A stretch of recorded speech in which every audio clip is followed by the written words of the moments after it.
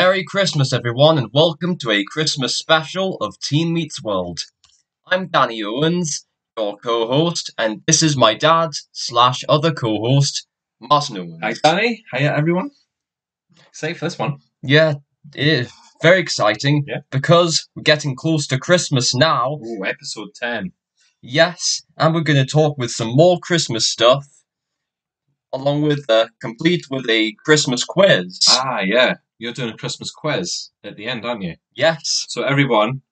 are you- So, what are you going to do? You're going to leave like a little gap so everyone can think of the answers, write it down or whatever, and I suppose they could just put in the comments, couldn't they? Their answers. yeah. That'd be good. Yeah. Yeah, so if you're if you did if you did hear Dad, folks, please, if you need to uh think get the cre- questions, I mean, right, then write down the answers down below. Yeah, just so at the end of this episode, we're going to do a quiz. So, if you want to get a pen and paper, or you should listen back and just put it in the comments. Good. Yes. So, right, let's start off with the Christmas films. Oh, we're only going to do a few, aren't we, this year? Yeah. Select few. And you know what? I can't believe this first one that we never did this before. Yes. What is it, Danny? Gremlins. Yes. Love it. Yeah, this was back in 1984. This uh, film was made. Ooh. Who's in that then? What's the guy's name? First up, we have Zach Galligan, who plays the main character of Billy Peltzer. Yeah. Phoebe Cates plays plays Kate uh, Br- Beringer, Bringer, if that if, if I'm pronouncing her name. She's the love interest of Billy. Then we have Hoyt Axton playing Randall, Billy's dad, and Lynn, Billy's mum, is played by Frances Lee McCain. Then we have Glyn Turman and Jackie Joseph playing Mr. and Mrs. Futterman, the next door neighbours.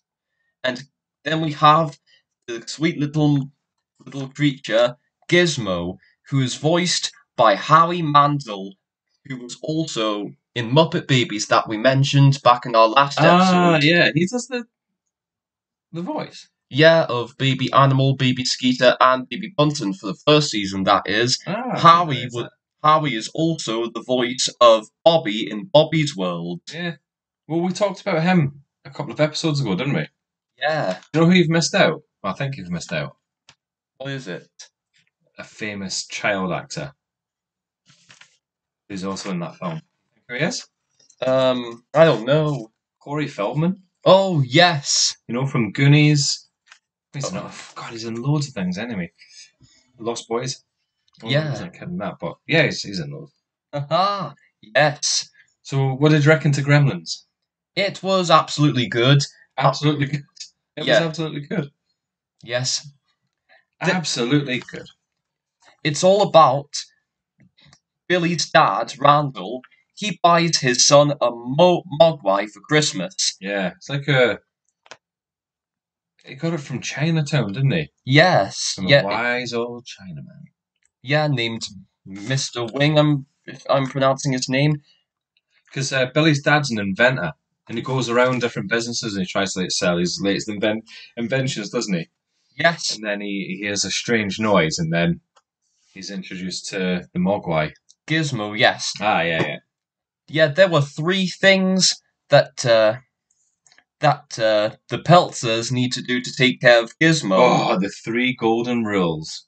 Yes, do not shine any bright lights. Yeah. Don't put water on it, and what happens if you put water on them? multiply.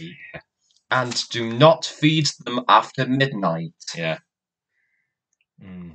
And then, That's when they turn into gremlins, isn't it? yes, because the Mogwais get fed after midnight, after they've been multiplied, and then they turn into gremlins and take over the whole city. At one point, they destroy a cinema after briefly watching the Disney film Snow White and the Seven Dwarfs, despite this film being Warner Brothers distributed. Can you remember that one that um was put in the microwave and exploded? Oh yeah, that was the sequel, and luckily it did include. Oh, was it the second one? Yeah, did you know Gremlins? Yeah, Gremlins had a sequel in 1990, but it wasn't focused on taking place at Christmas time. No, that was called the New Batch, wasn't it, or a New Batch or something like that. Yeah, but yes, even though Snow White is not is not Disney made, I mean, is not Warner Brothers made, but Disney made, Gremlins 2 is able to get proper Warner Brothers animated characters, which are Bugs Bunny, Porky Pig, and Daffy Duck, to appear at the beginning and the end of Gremlins 2.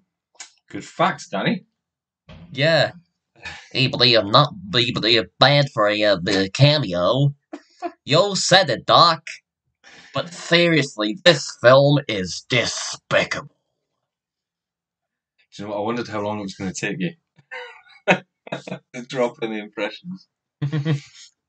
Excellent. Very excellent. Yeah. Good film, though. I loved that film as a kid. I still, well, I still do. Yes. Yeah, the sequel is also good because it has got another good cast like Sir Christopher Lee. He played the mad scientist.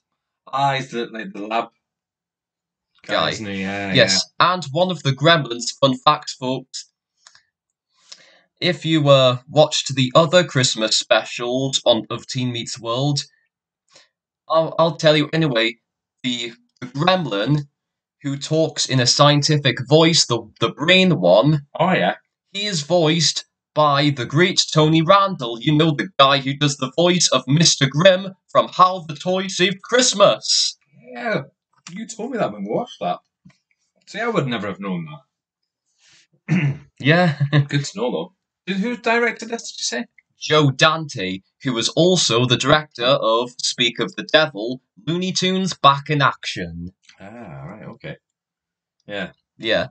And you know, even though the Looney Tunes uh, is made by Warner Brothers and Snow White isn't, but Disney, we do get the Looney Tunes interacting with many Disney characters in Who Framed Roger Rabbit, with Bugs being with Mickey and uh, Daffy being with Donald. Some interesting stuff here, son. Yes.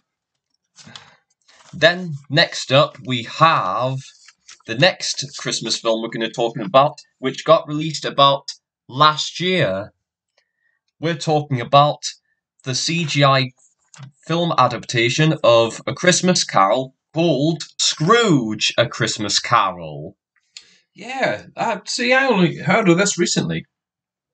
Yeah. Um, you brought it up, didn't you, when you were doing a bit of um, bit of research and putting your notes together for well for this episode, I suppose. Yeah. Yes, this film, this film adaptation stars the uh, the cast of Luke Evans, who voices Scrooge, Yeah. and Olivia Colman, who voices the ghost of Christmas Past. Hey, Danny, can I just interrupt you briefly? I, I want. What? What's green, in Christmas lights, bulbs, and goes ribbon? Hmm. I don't know. Mistletoe. Mistletoe. Well, then, sorry. Yes, this film was also directed by Stephen Donnelly. And there's a fun fact. This this film was made. Uh, it uh, got a musical score from the music composer who tragically passed away once the uh, the CGI film was done. Yeah. When was this? Did you say last year? Yeah, in 2022.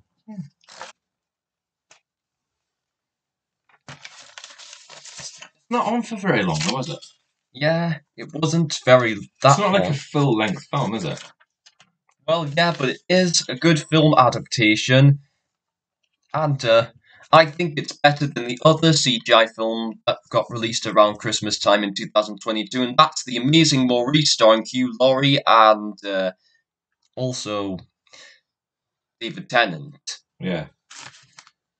Hey, Danny, why did the Scarecrow get a big Christmas bonus? I don't know. Because he was outstanding in the field. That one was a bit poor. Sorry about that. well, but at least the Scarecrows always be outstanding here in the land of Oz. And uh, you know, speaking of the Wizard of Oz, in Gremlins 2, when the uh, when the gremlins began to melt in the water, one of them does a reference to the Wicked Witch of the West, crying out, "I'm melting."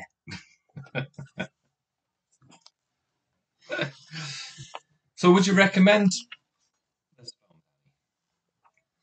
I think it's a it's a very good uh, adaptation, but I mostly also like the other film adaptations of the Christmas Carol, like the one that has Jim Carrey as Ah. Ebenezer Scrooge. I think that's probably my favourite. You know. Yes, the Robert Zemeckis adaptation. Yeah, yeah. I think we might have talked about that last year, didn't we? Yeah, maybe, along with the Muppet Christmas Carol, and not to mention Mickey's Christmas Carol, Yeah, which stars Scrooge McDuck as Ebenezer Scrooge. yeah. Yeah, so Scrooge as Scrooge makes a little, little bit more sense, or even a good joke there, especially in the Disney franchise. Hey, Danny, do you know what happened to that man that stole the uh, the advent calendar? I don't know. Yeah. He Days. oh,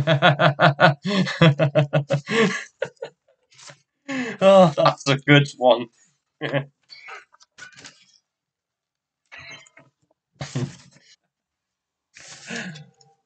What's this then, Danny? What you got here? I see you Well- shuffling your notes. Well, this one.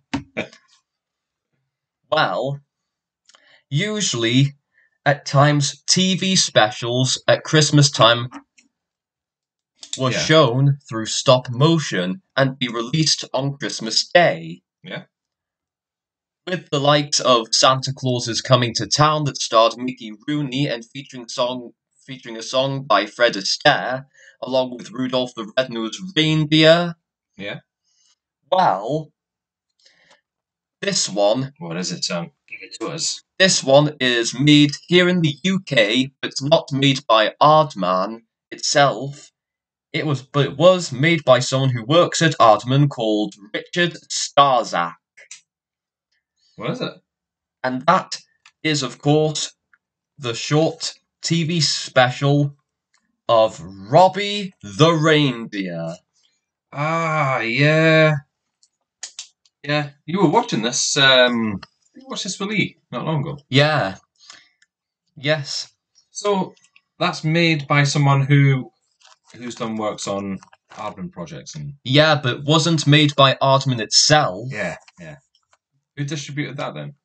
Or who who what company made that? Hmm, I don't know, but but it was it did air on the BBC Yeah. at Christmas time, and this one has got a good cast, such as Ardal O'Hanlon, who does Robbie, the main character. It also stars Jane Horrocks as Donna, Steve Coogan as the main pro- main antagonist, Blitzen. Yeah, I love Steve Coogan. Yeah, Alan Partridge himself. Caroline Quentin plays Vixen. Then we also have the comedic duo of Harry Enfield and Paul Whitehouse voicing Prancer and Old Jingle, respectively. Yeah. Yes, not to mention Ricky Tomlinson of the Royle Family fame, fame the Royle Family fame voiced Santa Claus. I watched um Royle Family a couple of days ago. You got to watch one every year, haven't you? Yeah. yes, and an, a nice, splendid cameo from Seal voicing an animal counterpart of himself. Seal, uh, Seal's in it.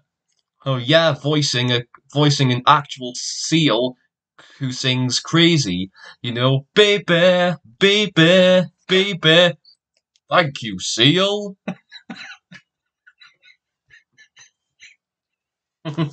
yeah, I can't believe they had to have a joke like that. That's better than all my jokes that I've just put down there. I mean, Yes. up. Yeah, the synthesis is Robbie the reindeer moved to the North Pole to follow in the footsteps of his dad, Rudolph the Red-Nosed Reindeer himself. He was willing to be the next in line to become Santa's trusty navigator.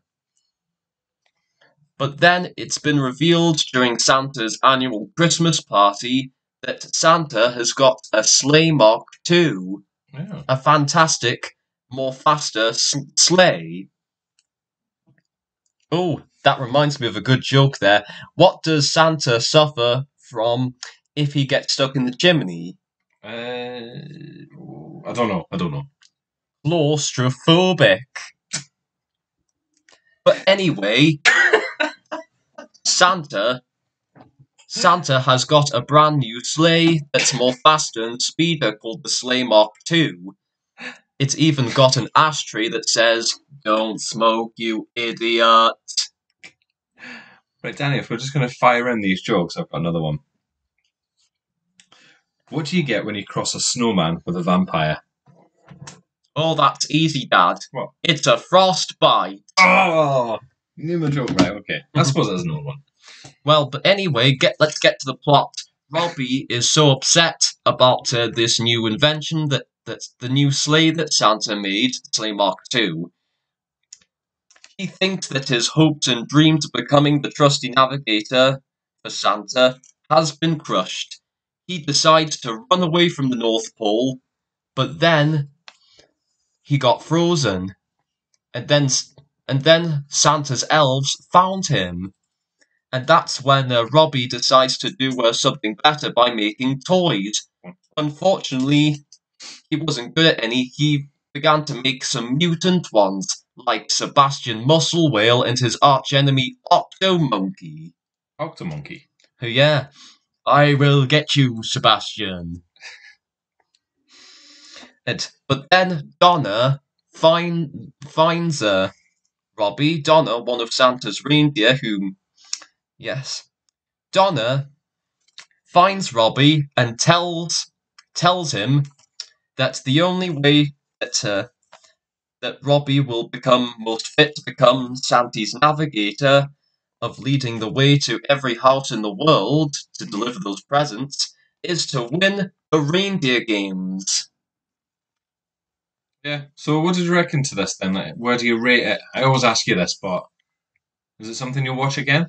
Yeah, something like that. Yeah. And this short, thi- this short, the first Robbie the Reindeer short that I mentioned was called Hooves of Fire, and then they made two more, such as Legend of the Lost Tribe and Close Encounters of the Herd Kind.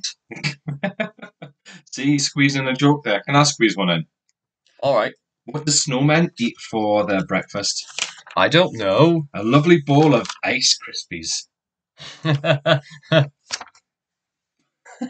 you didn't enjoy that at all.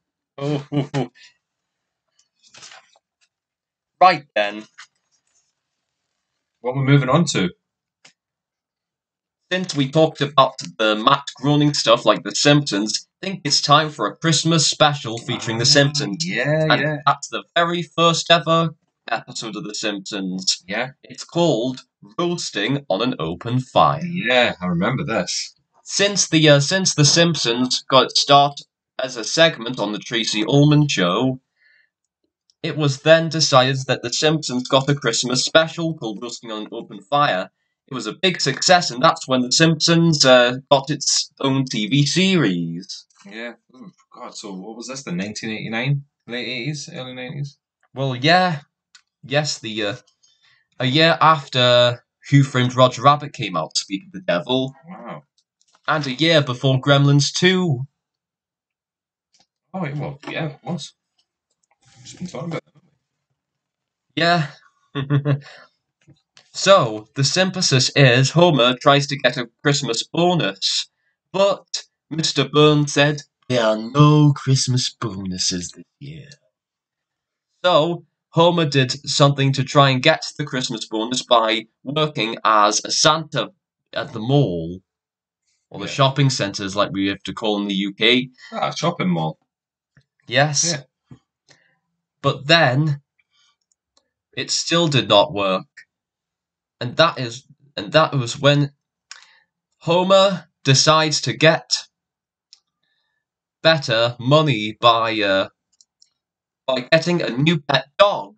And that's where he found Santa's little helper. Ah, yeah. Well, I forgot that's when, yeah, that's when they brought him in. Yes, that was during a dog race. Yeah, that's right, yeah. And that's when uh, But he wasn't very good, was he? Yeah, not very good, but Homer was able to get Santa's little help as a pet. Yeah, because Bart and Lisa wanted to keep him. Yeah. And so it happened. Yeah.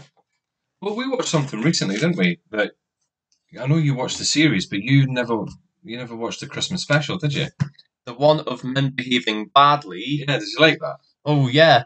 That was the on the exact same years when Neil Morrissey, who played Toby, I mean Tony in Men Behaving Badly, started becoming the voice of Bob the Builder. Yeah, it would have been right about then. Yeah, Yeah, that was the exact same year when Bob the Builder made its debut to television. Yeah. We've watched quite a few Christmas films, haven't we? So far. I mean, I, I know what we were sort of midway through, but we've watched Deck the Halls, Jingle All the Way, uh, National Lampoon's Christmas Vacation. For me, that's the best. Yes. That's my favourite.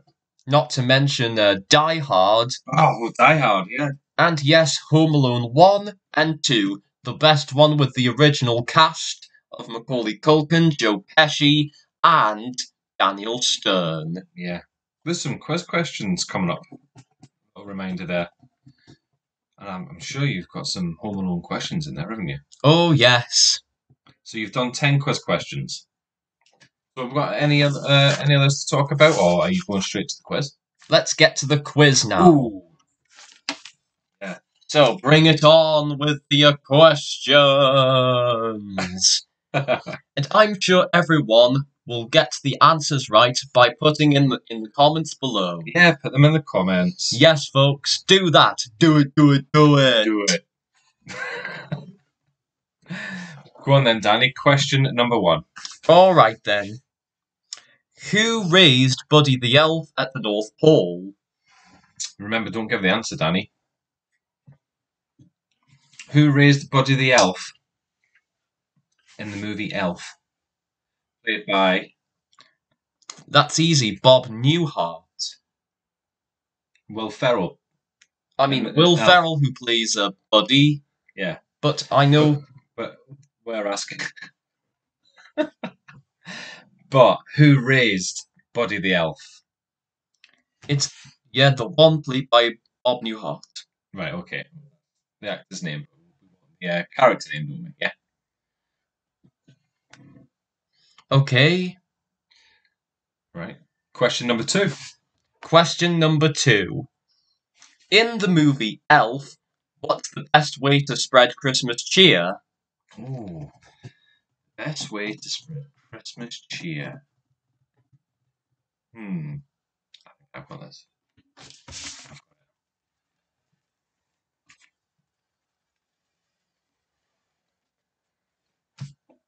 Mm-hmm. Question number three. All right. Also in the movie Elf, Oh, another elf question. what does Buddy eat in the doctor's office? What does Buddy eat in the doctor's office? What does he eat? Well, oh, I know. I know. right then. Number four. This one's going to be a Grinch question this time. Ooh. What is the name of the Grinch's loyal dog? Grinch's loyal dog. Um,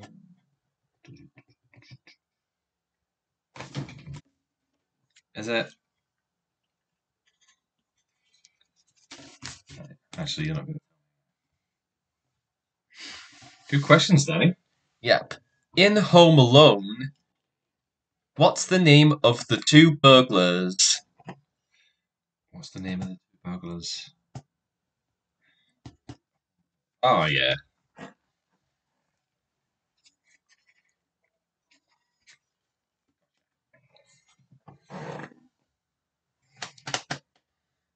Alright. Which city does Ebenezer Scrooge live in in The Christmas Carol?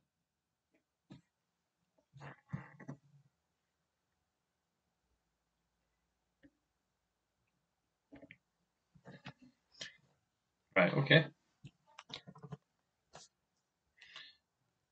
And, Next next question. and in Home Alone 2, what were how, the, the two burglars known as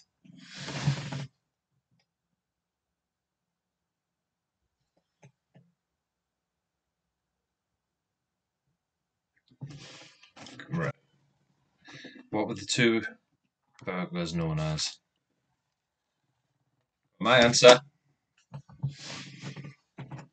next. How many ghosts show up in the Christmas Carol? How many ghosts? Ha ha! How many ghosts show up in the Christmas Carol? There's my answer. Number nine.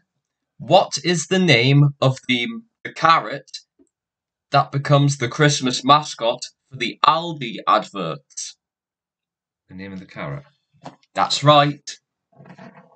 Oh, yeah. Gotcha. Oh, this will be last question, won't it? Yes, the last que- question. In the Polar Express, which actor plays six different characters? Express. Six different characters. Ah. I've done quite well there. Hmm. Right, yeah. So, 10 questions there. 10 Christmas questions.